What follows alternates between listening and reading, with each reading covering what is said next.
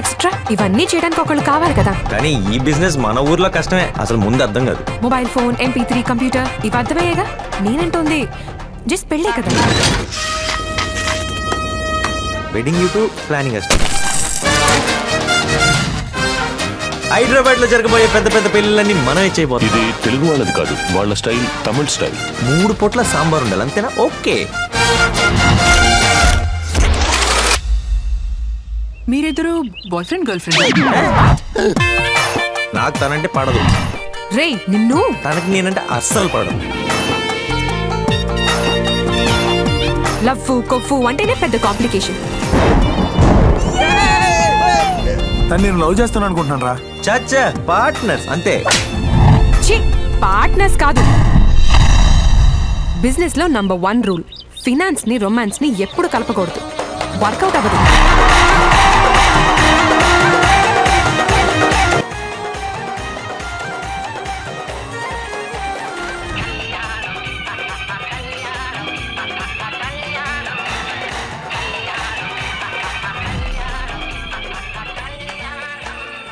ఈరోజు మీ పెళ్ళి మీ లైఫ్లో బెస్ట్ డే.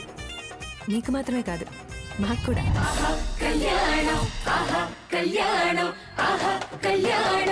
ఎప్పుడు మొదలెడదాం ఏంటి గ్యారంటీ ఇదిగో మిరపకాయ బజ్జి మీద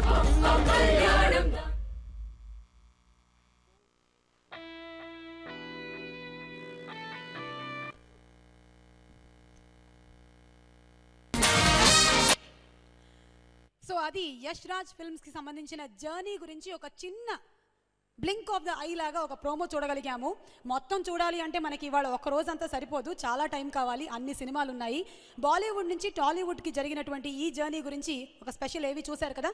సో బాలీవుడ్లో సూపర్ డూపర్ హిట్ సినిమాల్ని అందించినటువంటి యష్ రాజ్ ఫిల్మ్స్ ఆహా కళ్యాణం అంటూ ఈ సినిమాతో తెలుగు ఫిల్మ్ ఇండస్ట్రీలోకి అడుగు పెడుతున్నారు. ఇంకా ఎన్నో అద్భుతమైన సినిమాల్ని మన ముందు ఉంచబోతున్నారు. ఇక ఇవాళ ఆడియో రిలీజ్ కార్యక్రమం విషయానికి వస్తే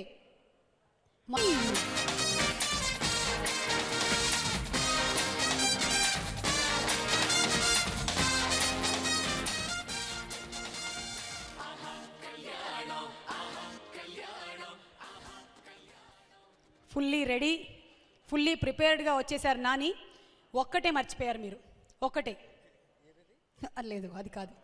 ఎవ్రీథింగ్ ఇస్ దేర్ ఓకే ఒక్కటే. మీ మైక్ మీరు తీసుకురావడం మర్చిపోయారు. నేను తీసుకొస్తా. వెడ్డింగ్ ప్లానింగ్ చేస్తూ ఉన్నారు చాలామందికి. నిజంగా ముందే కనిపించండి ఉంటే మా వెడ్డింగ్ కూడా మీ చేతుల మీదుగా జరిగేది కదా? అప్పటికి మీ వయసు ఎంతో? ఎందుకు వచ్చిన గొడవ? తీసుకోండి మైక్ తీసుకోండి. ఓకే సో ఈ ఈ సినిమాతో చాలామంది పెళ్ళిళ్ళు చేశారా మీరు? ఎవరైనా ఫేమస్ సెలబ్రిటీస్ పేర్లు చెప్పగలరా? అందరికీ నమస్కారం. ఈ సినిమాలో దగ్గర దగ్గర ఇరవై నాలుగు పెళ్ళిళ్ళు చేశాను. Twenty four minimum. ఫ్రేమ్స్ అంటారు. ట్వంటీ ఫోర్ పెళ్ళిళ్ళు చేశారా? ఓకే. ఈ ఆహా కళ్యాణంలో మీ పెళ్ళి కూడా ముందే ఫిక్స్ అయిపోతుందా సినిమాలో? లేకపోతే మధ్యలో ఎక్కడైనా ఫిక్స్ అయిందా? టికెట్ కొనుక్కొని చూడండి. పైరసీలో అడగొద్దు అంటారు. అది.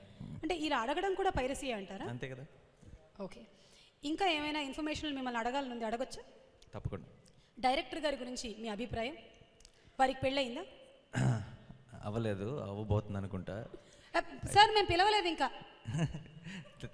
రమ్మని లేదు ఓకే. పాపం చాలా కష్టపడి ఏదో మన గెటప్లు వేసుకున్నారు. అంటే తమిళ్ళో ఆడియో ఫంక్షన్ జరిగినప్పుడు వేస్ట్ వేసుకున్నాం. ఓకే. దానికి కొంచెం ఎయిర్ వెంటిలేషన్ ఉంది. దీనికి అంత వెంటిలేషన్ లేదు కానీ బాగానే కంఫర్టబుల్గా ఉంది. సో గోకుల్ గురించి చెప్పాలి. ఫస్ట్ నాకు కథ చెప్పడానికి వచ్చినప్పుడు కథ చెప్పడానికి అంటే రీమేక్ కాబట్టి నేను అప్పటికి సినిమా చూడలేదు. సో బేసిక్గా చెప్పి నాకు డీడీ ఒకటి ఇచ్చారు డివిడి ఒకటి ఇచ్చారు. డివిడి తీసుకెళ్ళి ఇంటికెళ్ళి చూశాను. ఈ సినిమాని ఎలా తీస్తాడు ఎందుకంటే చాలా ఇన్నోసెంట్ చాలా చాలా నెమ్మది సైలెంట్గా ఉంటాడు. ఎలా ఈ సినిమాని ఎలా హ్యాండిల్ చేయగలడా అని డౌట్ వచ్చింది. రెండో రోజు నుంచి సినిమా షూటింగ్ స్టార్ట్ చేసిన రెండో రోజు నుంచి అర్థమైపోయింది. అసలు ఇతనికి పూర్తిగా వదిలేయచ్చు.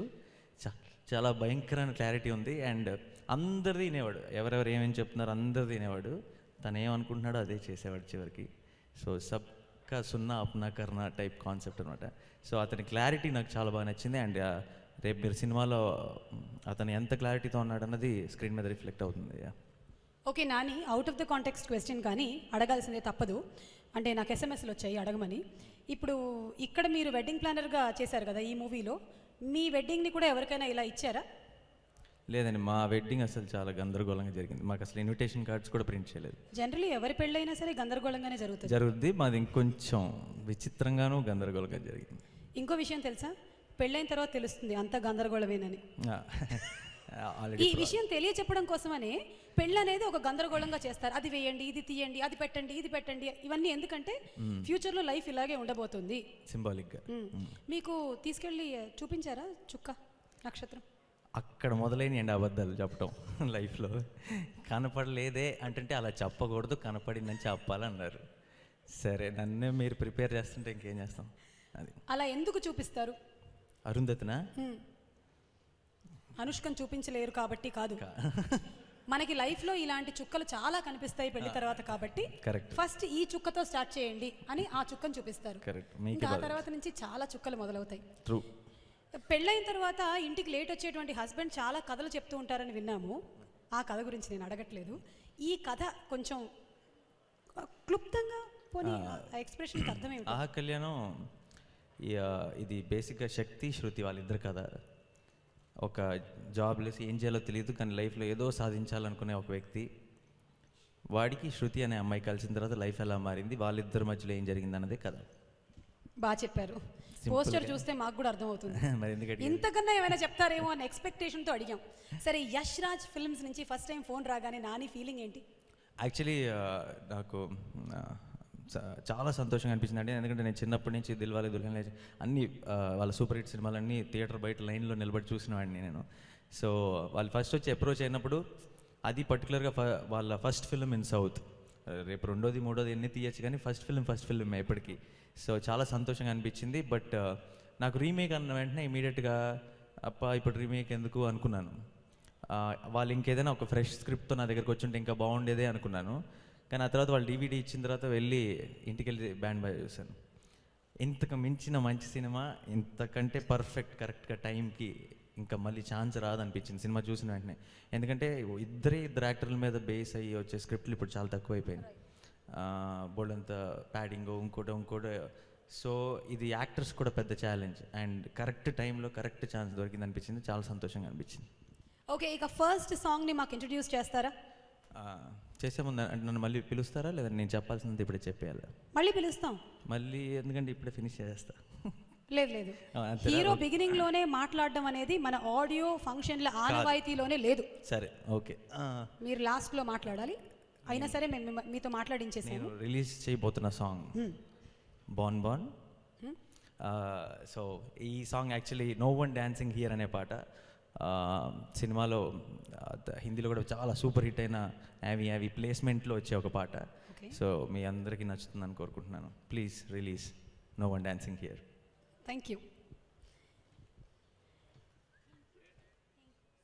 Dancing here voice of here follow me అంటున్నా don't care all then here and here march care మనమే ఎంటర్ అయితే no more bore bore bore bore. కాసేపింక వదలన్రో. స్టెప్ ఇస్తూ కాలు చెయ్యి కథ పండ్రో. మన కోసం పెళ్ళే మళ్ళీ జరగదురో ఓ యారో. వాటర్ ట్యాప్ తిప్పరో పైన బల్బె పెట్టరో. రెండు మిక్సింగ్ మిక్సింగ్ మిక్సింగ్ చేసి డాన్స్ చెయ్యరో వాటర్ ట్యాప్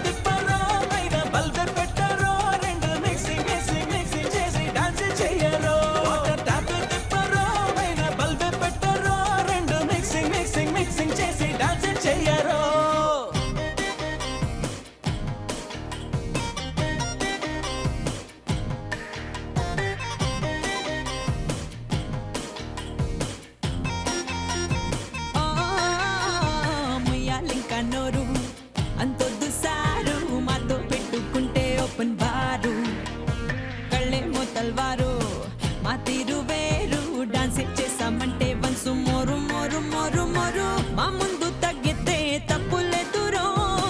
మీరేవి పెద్దగా తగ్గిపోరురో. మ్యారేజ్ అంటే మా క్రేజ్ వెరురో ఎసీరో వాటర్ టాప్ ఎత్తిప్పరో పైన బల్బి పెట్టరో. రెండు మిక్సింగ్ మిక్సింగ్ మిక్సింగ్